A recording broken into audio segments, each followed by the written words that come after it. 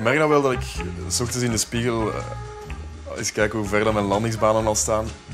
En uh, ik vrees dat dat de voorbije jaren steeds erger is geworden.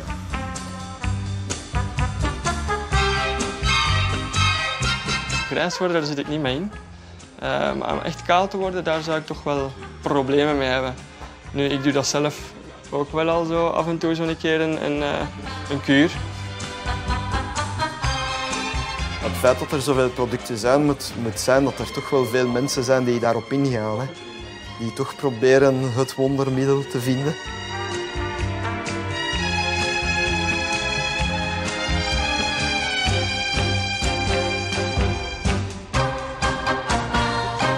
Mannen en hun haar. Ze zijn er veel meer mee bezig dan wij vrouwen zouden denken. De eerste tekenen van haaruitval zijn genoeg om op zoek te gaan naar shampoos, lotions, vitaminekuren. En als die niets uithalen, dan gaan ze naar de dermatoloog. En die schrijft soms een pil voor. Finasteride. Een pil met bijwerkingen. Het is een soort van paardenmiddel. Zoals we dat hier in Nederland zeggen. Kennelijk is het extreem zwaar, anders heb je niet, krijg je niet dit soort bijwerkingen. Als 20% van de mannen uh, te maken krijgt met de bijwerkingen zoals ik die zelf uh, uh, heb ervaren, ja, dan, dan, dan kan het denk ik in sommige gevallen zelfs levensbedreigend zijn. Ja. Als je de bijsluit verliest, dan gaat het dood natuurlijk, maar de meeste mensen hebben daar niet zoveel last van. Hoor. U hoorde een dermatologe, en ze was niet de enige, die aan onze reporter finasteride voorschreef. Een middel dat in België alleen mag worden toegediend aan mannen die last hebben van prostaatvergroting. En dat zijn meestal oudere mannen. Onze reporter is 26, volgende week 27.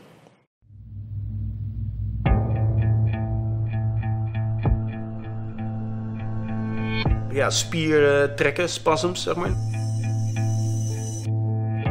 Hartkloppingen.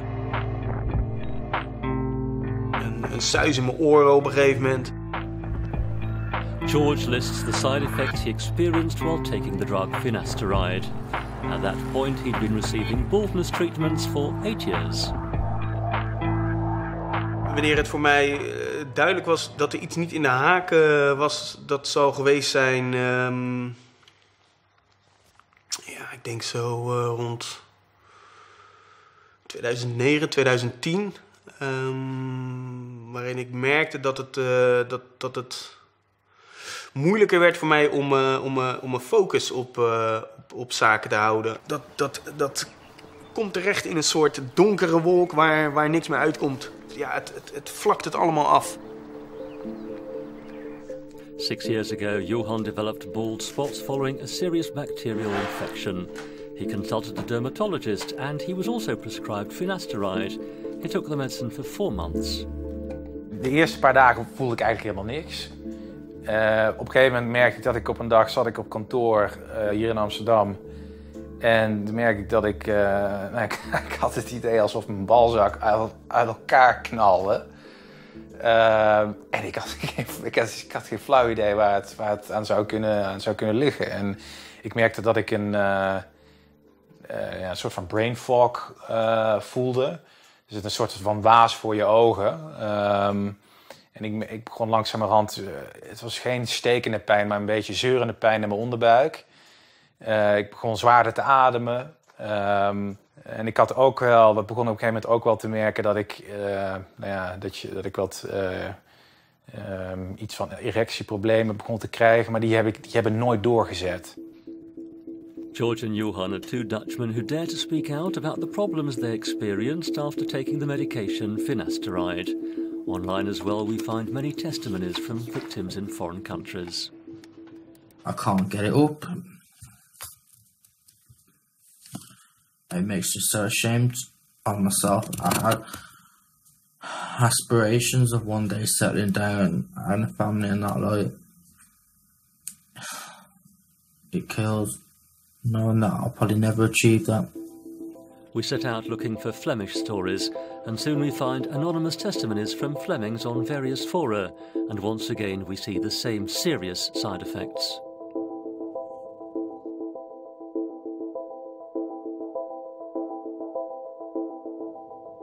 Finasteride is a drug used to treat prostate enlargement. In our country, that's the only use for which it's approved. It interferes with the way the male hormone testosterone works, allowing the prostate to become smaller again. These five medications contain finasteride. Urologist Dirk Michielsen prescribes the medication for elderly men in order to keep their prostate problems under control. De bedoeling van de medicatie is eigenlijk te zorgen dat de prostaat in volume afneemt. En de nevenwerkingen zijn seksuele problemen, een beetje borstvorming, gynecomastie en dus natuurlijk dat uw haar beter groeit. Johan was prescribed finasteride to treat his bald spots, but he didn't know that he was taking a medication meant to fight prostate enlargement. He was not informed about the side effects. Nou, die, die, die gaf, het, gaf het me eigenlijk zo. En ik zeg van, uh, zijn er nog bijwerkingen? En hij zegt van, het enige wat je niet moet doen... Hij zegt van, je moet met medicijn stoppen als je ooit aan kinderen wil beginnen. Verder zijn er geen, uh, zijn er geen bijwerkingen. Ja, ja als, je, als je dat hoort, dan denk je van, nou prima. Dus elke dag zo'n pil innemen. Eigenlijk het gebruiken als haargroeimiddel is eigenlijk de bijwerking van het medicatie gebruiken om iets te bekomen. Flemish finasteride victims begin emailing us anonymously. They were prescribed a powerful medication for a cosmetic condition. We went undercover and randomly visited five Belgian dermatologists to see how readily they've prescribed finasteride.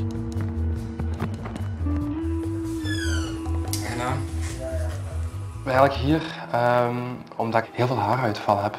Uh, last heb van, van, ja, van haaruitval of mijn haarloop. Nee, niks van medicatie. En is er iemand in de familie die taal is? Ja, mijn, mijn vader. Ja. Grootvader. Ja. Oké, okay, we gaan eens kijken. Kom maar eens even zitten. Er is een geneesmiddel en dat is finasteride. Daar heb je finasteride voor. Finasteride. Finasteride. Three of the five dermatologists propose a course of finasteride after a first consultation. The other two warn us about the possible side effects. KUL Leuven toxicology professor Jan Dietgaard researched the scientific studies of the medicine for us. Op dit ogenblik vind ik het niet echt verantwoord uh, dat dermatologen dit tegen kaalheid gebruiken. U moet weten dat rond dit molecuul, finasteride, uh, meer dan 2600 wetenschappelijke artikels te vinden zijn in betrouwbare databases. En die zeggen allemaal, je kan de kaalheid misschien wel wat oplossen, maar daartegenover staat een groot risico op impotentie, verstoorde ejaculatie, pijn van de teelballen en ook even erg, ja, risico borstkanker. Dus er zijn toch heel wat uh, voorzorgen en eigenlijk bezorgdheden rond dit geneesmiddel. Onlangs uh, had ik er dus gegoogeld of zo voor haaruitval. En er waren ook mensen die het hadden over allerlei bijwerkingen die optreden. Dat is, als je erbij verliest, dan gaat het dood natuurlijk, maar de meeste mensen hebben daar niet zoveel last van. Hoor. Is dat, is dat gevaarlijk dat met hormonen of zoiets is, of, of is dat, valt dat goed mee? Ik ga je zeker niks gevaarlijks geven, meneer de Lissen. Oké. Okay. Ga wel alleen niet zwanger worden. Op een leeftijd voor mij, wij moeten geen schrik hebben van, van, de, van de mogelijke nevenwerking, bijwerking. Ja, ja, ja. We take a look at the package inserts from all five medications that are used to fight prostate enlargement. The insert literally says that the use of finasteride can lead to impotence, loss of libido, decreased ejaculate volume, and depression, among other things. So this drug is not innocent at all. Na twee, drie maanden begon ik echt slaapproblemen te krijgen. En ik ben altijd een hele goede slaper geweest. Ik sliep standaard acht uur per nacht. En na drie, vier maanden op het mede, toen ik drie, vier maanden bezig was met het medicijn, sliep ik nog twee uur. Uh, ik kon eigenlijk ook niet eens in slaap komen. En als ik in slaap viel, dan was het een hele lichte slaap. En dan werd ik vaker wakker met enorme hartkloppingen en met ademhalingsproblemen en dat soort dingen. Johan stopped taking finasteride more than four and a half years ago, but he still has trouble sleeping. George too has stopped taking the medication, but he still suffers the side effects. Als je hartkloppingen krijgt en, en, en slappe spieren en, en weet ik wat allemaal... en dat alles in combinatie, dat je denkt van ja, dit uh, moet gewoon echt zoiets gruwelijks mis met me zijn. Uh, dat, dat is gewoon heel pijnlijk. Je moet weten dat hormonen ook niet, laten we zeggen, binnen de dag hun effect aan en uit switchen, om zo te zeggen. Dat is iets, met andere woorden, dat geleidelijk aan zich manifesteert. En dan kan dat een aantal weken zijn of een aantal maanden. En ja, volgens de bijsluiter zijn daar toch ook een aantal van deze bijwerkingen die dan onomkeerbaar zijn, zelfs al stop je het geneesmiddel. En dus inderdaad een beetje een, een sluipend gevaar. American doctor John Sandman tries to track down victims worldwide. According to him, many of them have lasting side effects. Therefore, Sandman is arguing for the recognition of PFS, post-finasteride syndrome. I mean, PFS is a, is a devastating condition that occurs in a certain percentage of individuals who take uh, finasteride. Uh, PFS stands for post finasteride syndrome. Post means after, so it's a condition that occurs after you stop taking finasteride. There's initially was a great deal of skepticism about whether it was truly a, a real medical condition. Uh, there's a large community of medical professionals that you know know that it's a real condition, and it's uh, uh, very rapidly getting sort of worldwide general acceptance as something that, that is real. Dat postfinasteride syndroom, dat, dat bestaat echt. Ja, ik zou er uh, alles voor over gehad hebben om tijdig uh, te horen hebben gekregen dat dit eventuele bijwerkingen van dat, uh, van het middel kunnen zijn. Maar niet dat dat effect heeft op erectie.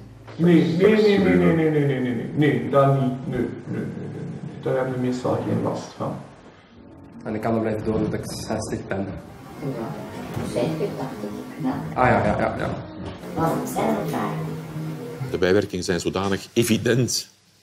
Het is een afgeleide van testosteron. Je kan als medicus niet zeggen, ik had dat niet geweten of ik wist het niet. Het was eigenlijk een nieuwe bevinding. Uh, dat, dat zou een beetje te kort door de bocht zijn. If you're a hair loss specialist and that's like the main thing that you do, and you're you're only prescribing a handful of drugs on a regular basis, then in, my opinion, it's your responsibility to do your homework. I mean, you should be, you know, if you're prescribing finasteride because you're a hair loss specialist, um, I'm sorry, there's no excuse not to know everything there is to know about finasteride. Three of the five dermatologists we visited undercover apparently didn't do their homework. They prescribe one milligram, a dosage that isn't sold in Belgium, so the pharmacist makes it himself. They use the 5 milligram pills used to fight prostate enlargement to create 1 milligram capsules. Up to this point, the pharmacists have done nothing wrong. Eentje per dag. Ja, Eén per dag. Eén per dag, dat is voor vijf maanden. Vijf maanden. Ja. Is er nog iets dat ik moet weten?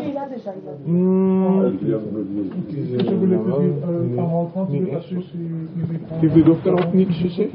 Niks specifiek zo? Nee, één per dag. Ja, dus S'morgens dan. Allee. Ja. Is er toevallig uh, een bijsluiter uh, bij? Nee. Ah, nee. Dat, dan, dat is dan wel die breiding geweest. En op Ah, ja, ja. The first pharmacist gives us the medication. It strikes us that we haven't been given a package insert or additional explanation, even though the explanation is mandatory. That gives us good reason to visit another pharmacy. Dus, dus, dus jullie maken... Van de vijf maken wij de één. Ja, ja, ja. ja. Eh, gewoon vraag, zit daar zit ook een bijsluiter bij? Nee, kan u wel gedaan.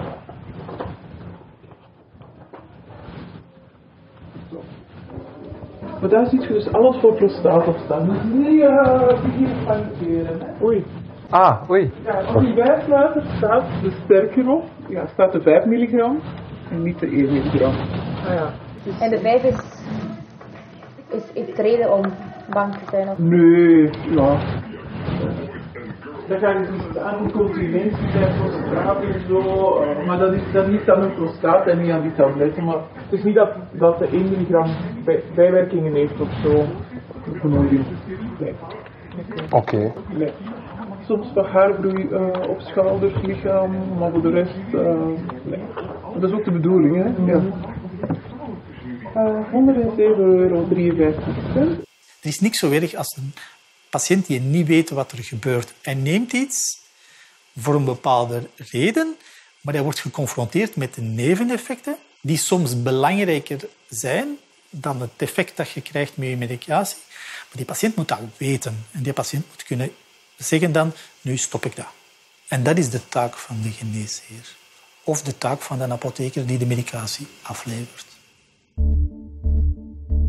Doctor, in this case the dermatologist, must have been aware of the side effects because as early as 2009 the medical journal Folia published a study about the 1 milligram pill. Every doctor receives this trade journal. The article clearly revealed the undesired effects, namely decreased libido and erectile dysfunction.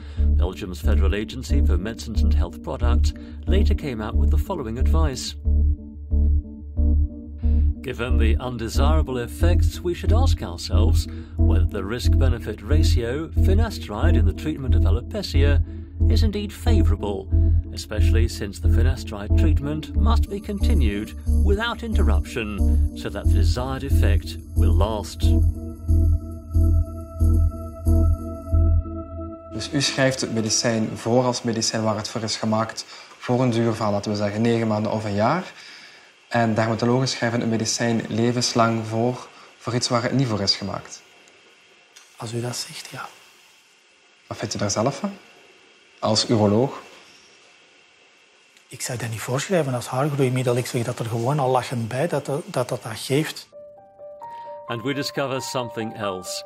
Finasteride is forbidden for women, according to the packaging and the package insert. Still, Sarah's dermatologist prescribed it for her. Sarah suffers from hereditary baldness, which will eventually make her go bald. She stopped taking the medication after four months because the side effects were too intense. Ik, ik ervoer heel fysieke uh, onrust. Um, ik kon bijvoorbeeld prima in slaap vallen, om dan om drie uur uit mijn bed gejaagd te worden. En dat was niet één nacht of twee nachten zo slecht slapen. Dat was echt drie maanden aan een stuk, heel heftige nachten. Mijn hartslag was eigenlijk ook gedurende heel die periode heel hoog. Door de dag ook. Dat is eigenlijk nu nog altijd een beetje zo. Finasteride had a major impact on Sarah, not only physically but also mentally. De meest heftige bijwerking die ik tot hiertoe vond, waar ik echt stond van te kijken van dit, is, dit ben ik helemaal niet. Dit is niet wat ik uh, een, probleem zou aanpakken of zo. En dat was uh, dat ik heel stiekem uh, een heel pertinent aanwezige zelfmoordgedachte begon te krijgen. Ik begon daar, ik begon daar dingen over op te zoeken. dat werd heel concreet op een gegeven moment. Dus je mag eigenlijk de werking van hormonen op een mens niet onderschatten. En dus ook dit geneesmiddel zal zijn uitwerking hebben bij die vrouw. Maar ik verwacht dus ook, ook problemen van psychische aard. Dus zeer gevaarlijk, onder geen beding. Kaalheid proberen bestrijden bij vrouwen, vind ik. En zeker niet wanneer ze een wens tot zwangerschap hebben. In the United States, there are currently 1,600 lawsuits protesting the use of finasteride as a hair growth product, 66 of which involve cases which resulted in death by suicide. I got involved with it because my son committed suicide because of PFS. Um, it was uh, an unbelievably tragic story. Um, and uh, it was so pointless. I mean, this drug really never should have been on the market in the first place. De grootste vraag die ik nu heb is: hoe kan het dat de dermatologen dat medicijn nog voorschrijven en zo gemakkelijk voorschrijven en daar zonder, uh, zonder de, de, patiënt daarover in te lichten over de mogelijke risico's? Mij is er verteld geweest dat ik daar hoogstens een beetje misselijk van zou worden. Ik heb mijn dermatoloog ook teruggecontacteerd. Um, ja, en die blijft dat, die blijft dat minimaliseren of, of zelf ontkennen. Ik vind dat heel frappant. Our witnesses have since stopped taking finasteride. All three still face the consequences of the medication every day, and nobody knows how long it may take them to recover. Omdat er zo weinig bekend is van die bijwerkingen, word je vaker toch niet serieus genomen. En dat, dat is denk ik ook iets wat, wat, wat meespeelt. Het niet, uh, kijk, mensen denken van ja, je kunt niet slapen. Ja, dat moet iets mentaals zijn. Ja, dat moet iets mentaals zijn. Ja, gaan we naar een psycholoog. Ja, ik heb, ik heb die psycholoog in principe helemaal niks te vertellen. Prescription practices that are too lax cause more and more people to fall victim every day. And that's just what Dr. Santman is fighting. I mean, Merck makes over $100 million a year on finasteride. So, you know, I'm not going to win that battle in the short term. I want to stop getting all these emails from people who say that they've just figured out they've got PFS and the rest of their life is ruined. You know, it's just, it's terrible. Ik hoop uiteindelijk dat de fabrikant uh, naar buiten komt met een of andere verklaring en zegt van nou, ja, het is gewoon een paardenmil. Dat zouden we niet aan, mensen mogen voorschrijven. Op zich is het wel iets erg, hè, als vrouw kaal worden. Maar uh, ik vind de, de, de, bijwerking die ik heb, of de, de, de hel waar ik ben doorgegaan, is, was, zoveel, uh, was het zo niet waard. Mag geen vergif zijn. Ik heb het gevoel dat, dat ze de mensen aan het vergiftigen zijn met dat medicijn.